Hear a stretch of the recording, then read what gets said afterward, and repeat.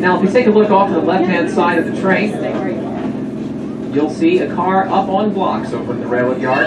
That gives you some idea of what these coaches looked like when they arrived at the Colebrookdale Railroad. Each coach restoration takes us about 18 months to two years. All the work is performed entirely by our volunteers. You can see the quality of the craftsmanship and the care and love that goes into each one of these historic railroad cars. The car up on blocks over to the left was built in 1914 by the Pullman Company as a long-distance luxury lounge car. The Titanic had been at the bottom of the sea just two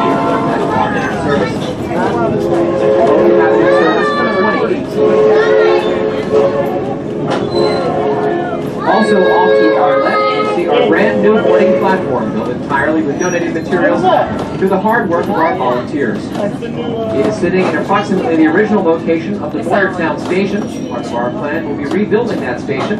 The boarding platform is the first step in a multi-phase plan to make the Colebrookdale Railroad fully handicap accessible.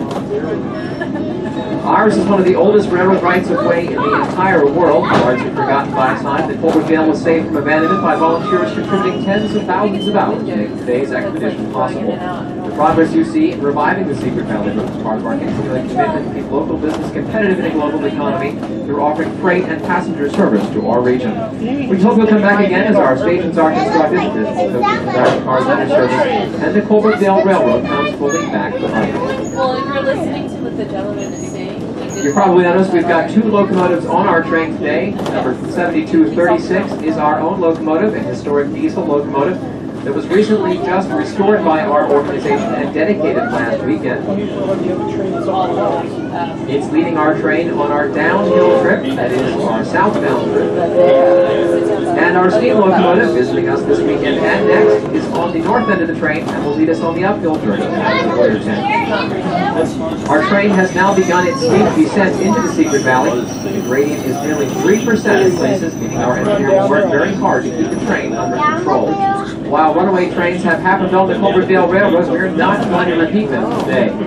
On this portion of our trip, you'll notice a great deal of squeaking and squealing, rumbling and hissing underneath the coach floors. That's not the train crew. That's the sound of the brakes. The engineer works very hard to keep the train under control. Very steep grade south. You've watched the foliage passing by, we're wondering how we set the speed here on the Colebrookdale. The oldest timetable we ever found indicated the speed was somewhere around 35 miles an hour at the maximum speed. Today we do our level best to keep it somewhere under 80 miles an hour. Way under 80 miles an hour. We have to ask you to avoid the temptation, as they say, to jump out and run ahead of moving train. This simply infuriates the We're actually keeping the speed a little lower than normal here on Colebrookdale today because of the speed limit on the back end of the train. It's a switcher type locomotive, bobbing and weaving down the track, so in order to keep the teeth inside the heads of the locomotive crew. The one sacred pass of the Ave upon which our iron rails are laid would form a core corridor in the earliest industrial center of colonial America. The magical ores unique in all the world were found in these lands. The entrance to one of the mines underlying all of the community of Boyertown can be seen off to the right in a grassy pocket surrounded by a tidy little fence.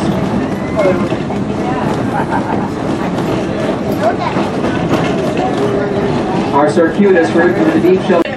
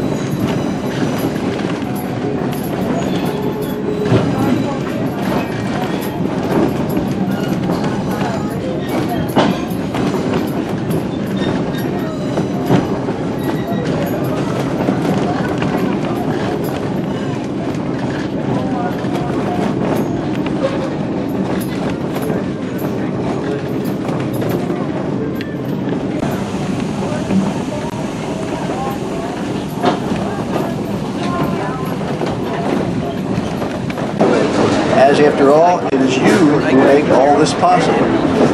That ticket you bought today not only got you a six mile ride 150 years back in time, but also was an investment in a better future for our region. How about a round of applause for each one of you for coming out to ride today?